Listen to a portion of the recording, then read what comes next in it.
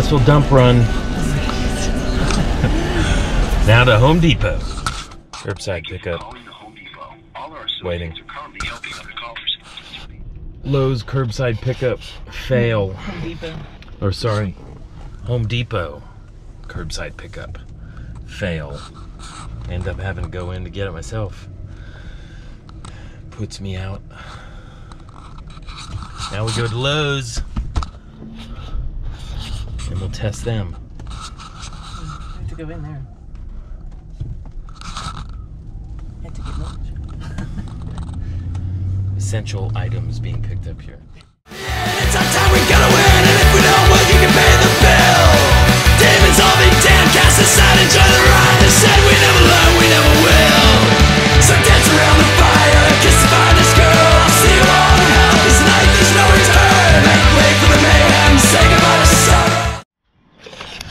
Success, successful. I have to. Successful Home Depot and Lowe's run. So I got Sonotube. I got three of those. You'll see how I'll use those because that's not going in the entire hole, just part of it. So in a mixing tube for bath time, for mixing concrete, obviously. And in there is also some epoxy glue for the uh, anchors that go into the concrete for the posts. And then, of course, you can't get enough mulch. We still don't have enough mulch. Then we got some extra flashing. This will go underneath on the bottom side of the ledger. And then in the car, I got some rubberized uh, flashing tape and nuts, carriage bolts, and uh, bolts, nuts and uh, we're filling up with the COVID gas, cheap price gas. So might as well fill up now. $1.69 here in Virginia, uh, in Northern Virginia, where we're at. But anyways, now we're going back to the house and uh, flash up the uh, backside, put the ledger board on, start dropping the plumb bobs to uh, figure out where we got to dig holes.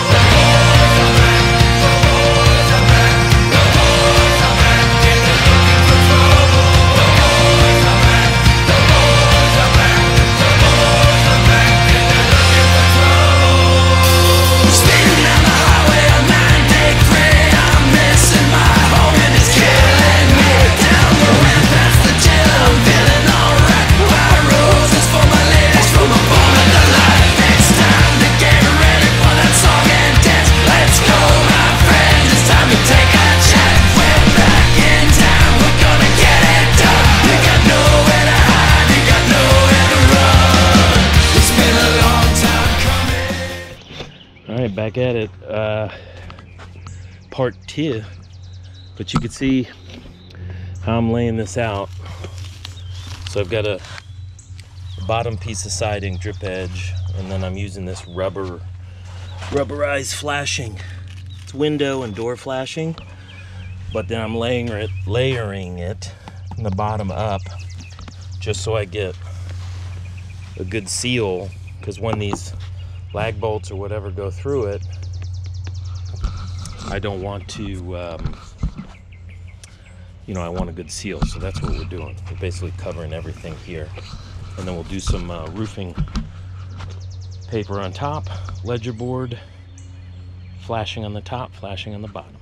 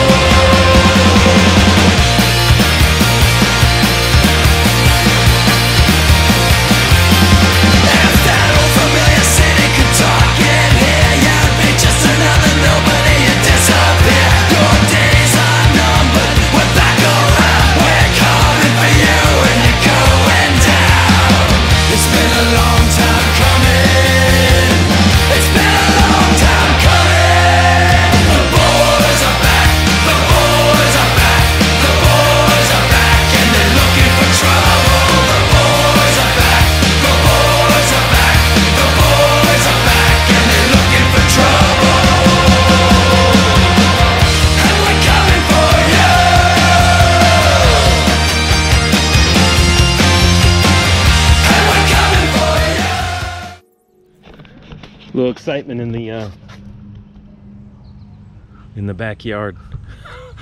it's the common area. So all of this back here is all common area. You can't build on it. Obviously, there's houses on the other side, but the neighbors' common area back there, there's like a, looks like a honeycomb. But my wife came saying it was hornets or bees or something, but they were swarmed. The whole sky was filled with them.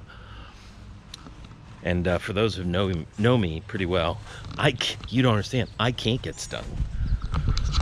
Anyways, back at it. If you see me run on video, it's because the swarm has returned back to the honeycomb. But uh, Nala appearance again. Here's where we're at. I've got to do the rest of this, but I've got this flashing all the way up under here, tucked in, and what? Oh, I thought a bird shit on my flashing. But uh, not the neatest job, but it's gonna, gonna do. Seal up any things that go through it. And, you know, you got the house wrap under there. I just want to keep, you know, wa- I hate water.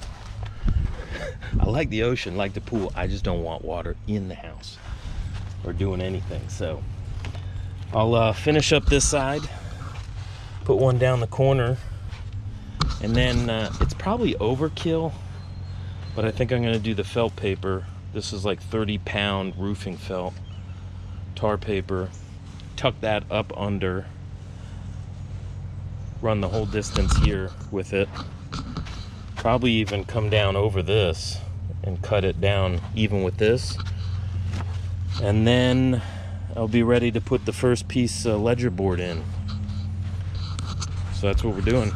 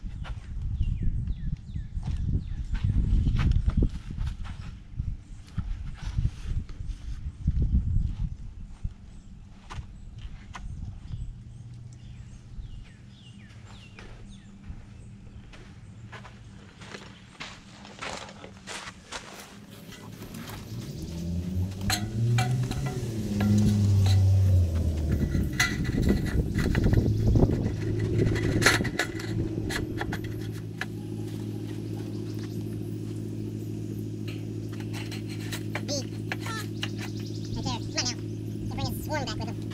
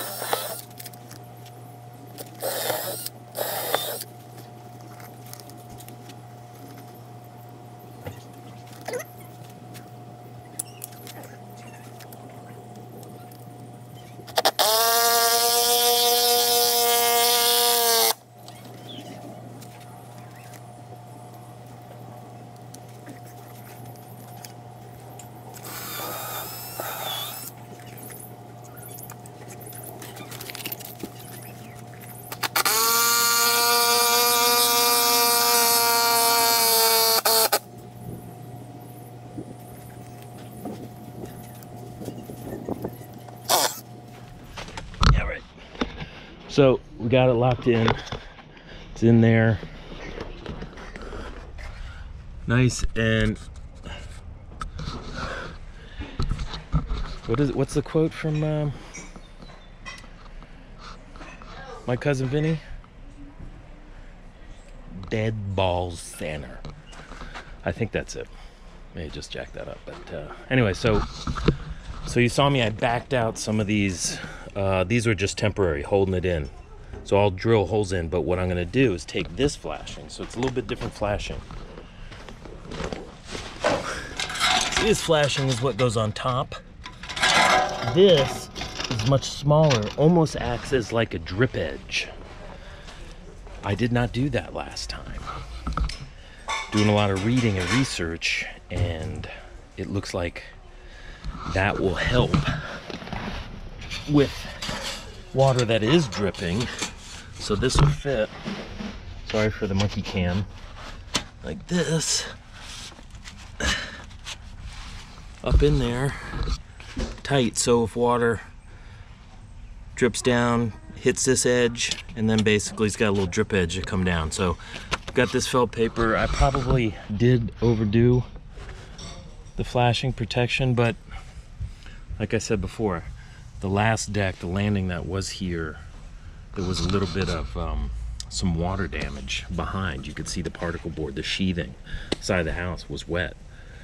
Um, and so I, I don't want to risk that again with this size of a deck and all that. So I got this rubberized flashing uh, over essentially the house wrap. So when you're drilling through, it kind of makes a seal around that bolt. Uh, then I got that rubber ass, or uh, sorry, the um, 50 pound felt, roofing felt. So if the moisture does get back there, that'll help. And then uh, obviously you can see I am caulking inside the hole before I put the lag bolts in. And these are uh, stainless steel and they have a, it's like a ceramic coating that does not react with the pressure treated lumber. So that's what we're doing. Let's get it done.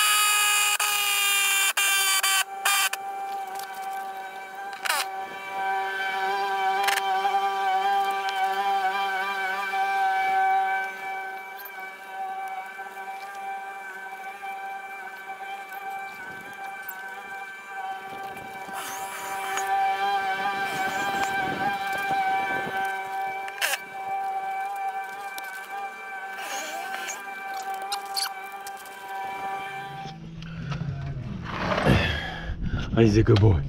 You're too tired. Come here, bud. You get you tired. Show you tired. Show daddy you're tired. Good boy. Boy, good boy. Good boy.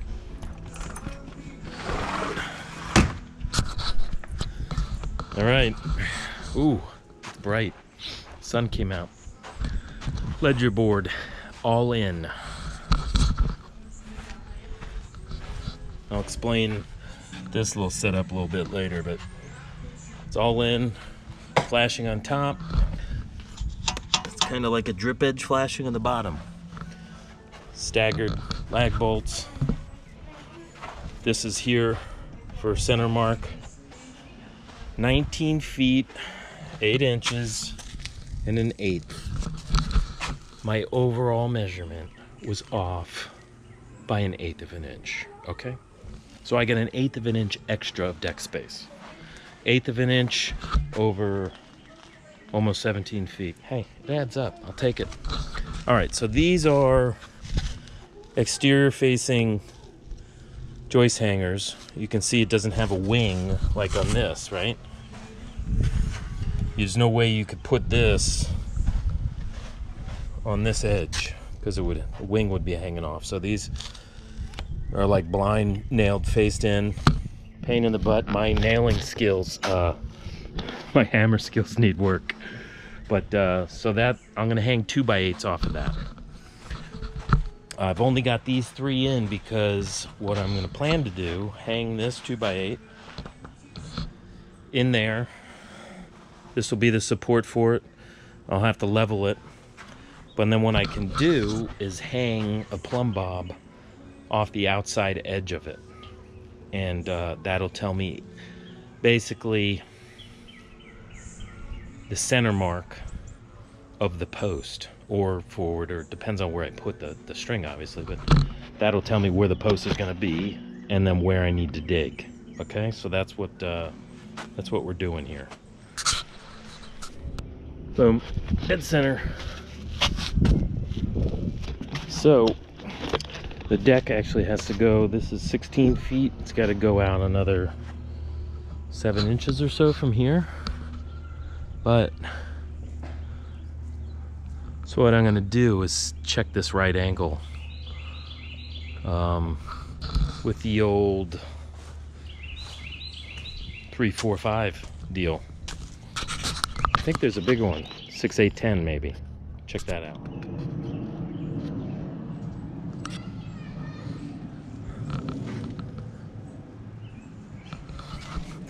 plum like,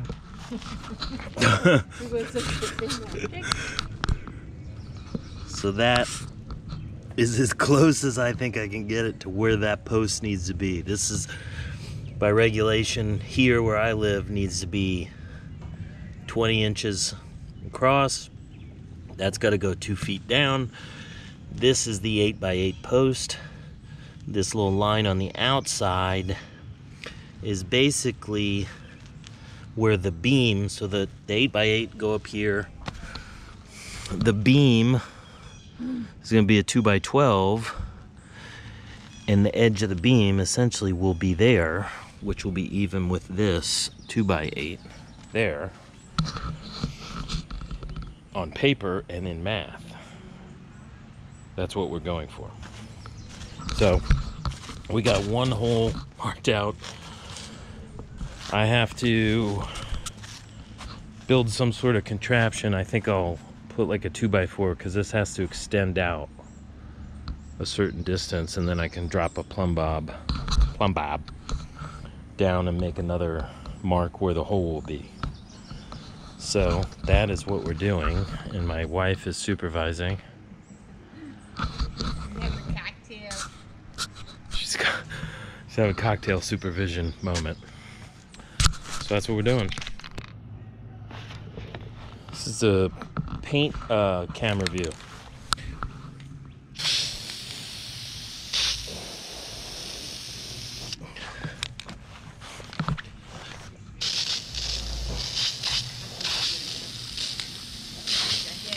All right, that's two holes marked. Gun bun. Hi, buddy. You guys met Nala in the last video. This is Gunner. Gunner's British. He likes his uh, afternoon tea. And Nala's the American lab. Nala, Nala, where'd she go? is probably probably uh, nosing through the trash. Anyway, so we got two uh, two holes, approximates. It's not too far, so we got some wiggle room. I dig these holes. We're gonna have some wiggle room on placement of the posts. So I'm gonna put the the concrete, and then what I'll do is drill. I've got post standoffs, galvanized post standoffs that sit on the concrete those have two bolts into the concrete. So I'm gonna lay the concrete, let that set, drill the concrete, epoxy set the bolts for the standoff.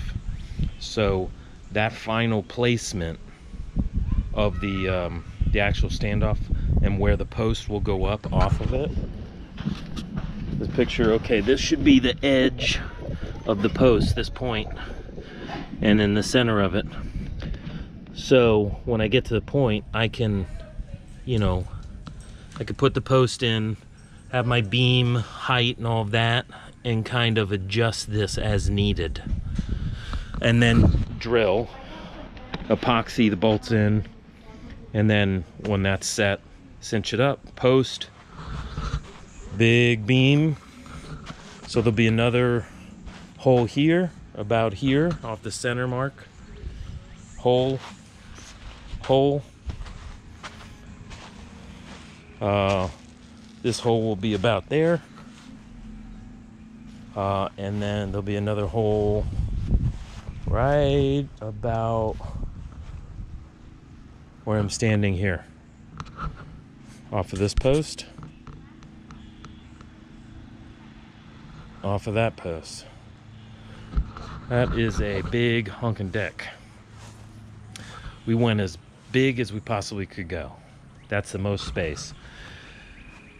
County regulations uh, have a six foot from the property line sti- um, from the deck, so that would put us about here. But H uh, HOA for our neighbor has a 10 foot setback, so that's where we're going right up to that edge. Um, yeah, and it's gonna be nice. It's gonna be nice and big, and uh, I can see it now. Big old peak roof pavilion. Oh, it's gonna be nice. An extension of the living room, which is right here. You can see Hayden maybe sitting in there. Squish her head. So it's gonna be nice. Let's see if I can put these, uh, mark down these other holes before rain comes and then uh, washes out my uh, paint and I have to do it all over again tomorrow.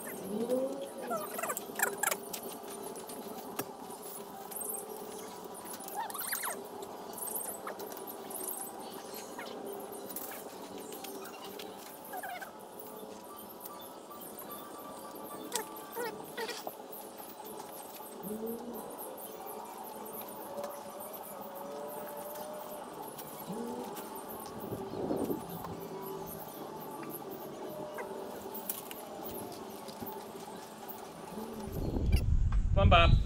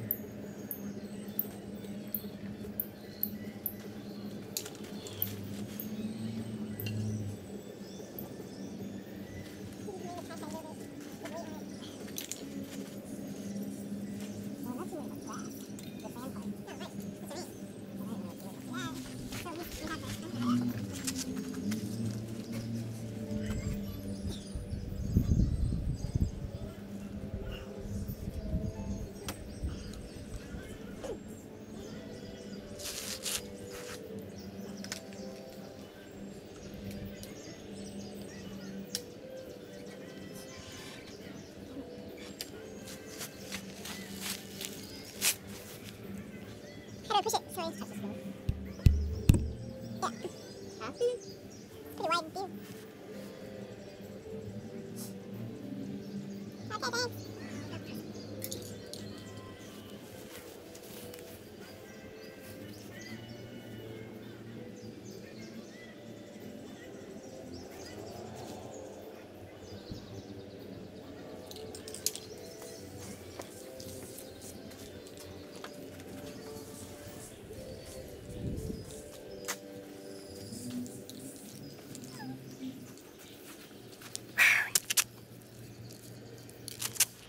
All right, last hole marked.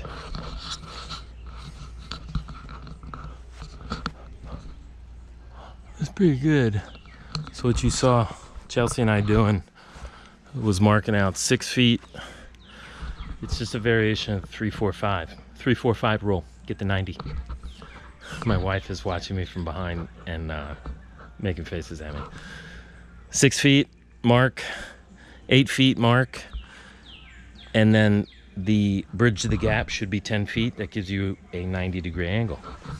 So this way you know if this needs to come in or out, depending on whatever. This had a slight bow to it. I think it's pretty good. That's what I was using the breaker bar for. Just to push because it was bowed out this way. So I was using this to push it. So like I said before, I'll have some wiggle room on these, but these are massive holes. They're gonna be eight by eight posts, essentially. So there'll be two, two, two by twelve to make a beam across these eight by eight posts, going basically right there. So this mark right here, that is where the edge of the deck will be. Right? Actually, it won't be the edge of the deck, but that will be where essentially the center of the post will be of the 8x8 post. Um, this will come out, I don't know, a little bit further, right around there. But um, basically massive. Two two uh, two two by twelve um, planks you know screwed together to make a um, a beam goes across these and then three two by twelve planks sandwiched together sitting on these three eight by eight posts going this way. Uh so the sucker's gonna be solid. like a rock. And calling it a day. Calling it a day. Because one, we got movie night tonight. Two, we're grilling some pizzas. And you know, I just thought about that's gonna really suck. No stairs to get down to the grill. Gonna have to walk around. Oh, first world problems. Anyways, I'll dig out these sand ones just a little bit so I don't lose the, uh, if it rains and washes out the paint or whatever, I don't have to do all that again. So at least I'll mark that with the shovel. The grass will be fine. But uh, tomorrow I'll finish this video. And then uh, tomorrow will be part three. This video will be part two, part do dose. Tomorrow will be all about digging holes. So we could do some speed up, pick some jazzy tunes, speed it up. You go by just like that. Anywho, that's where we're at. Thanks for tuning in. Already, uh, the first video went up uh, late last night or early this morning. Um, thanks for watching. Please make sure to uh, like the video, even if you hate the video, even if you only watch two seconds of it and you're like, this guy is annoying as all get out. Hit the thumbs up because that's what you're supposed to do, and then uh, hit the subscribe button, and then hit the little bell, and you'll get notified when I'm putting these out. All right, guys, thanks for tuning in. Say goodbye to the puppies.